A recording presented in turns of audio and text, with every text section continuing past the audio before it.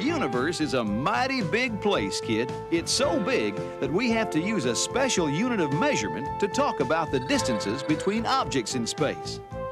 We use the distance that light travels through space in one year. For three points, what is this unit of measurement called? Light year. Light year, that's right, three points. Now, for seven points, kid, how far is a light year?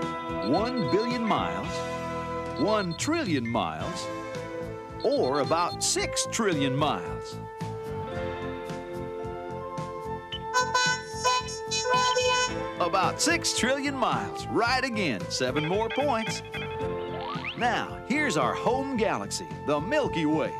For six more points, about how far is it in light years from one edge of the galaxy to the other?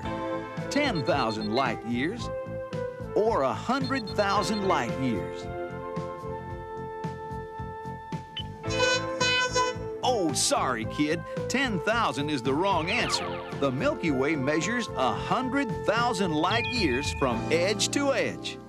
Don't take it too hard, kid. You got the rest of them right for 10 points, and that's not too shabby in anybody's book.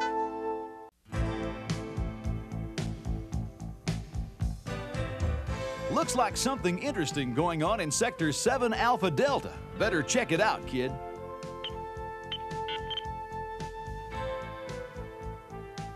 The space shuttles are often used to carry objects into space, so they have a large cargo compartment. For six points, which of these familiar objects would just about fit into the shuttle's cargo hold? An automobile, a school bus, or a house?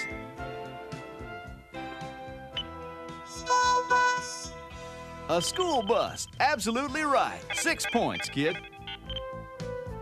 The shuttles have launched quite a few of these communications devices into orbit. For four points, what are they called?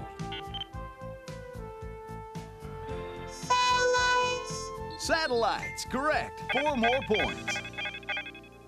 These shuttles can stay in space for quite a while. For three points, kid, can you tell me about how long they're designed to stay in continuous orbit?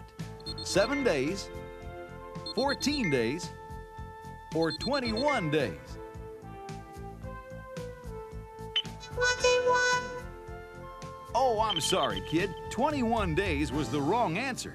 The shuttles are designed to stay in orbit about 14 days. You'll have to settle for 10 points today.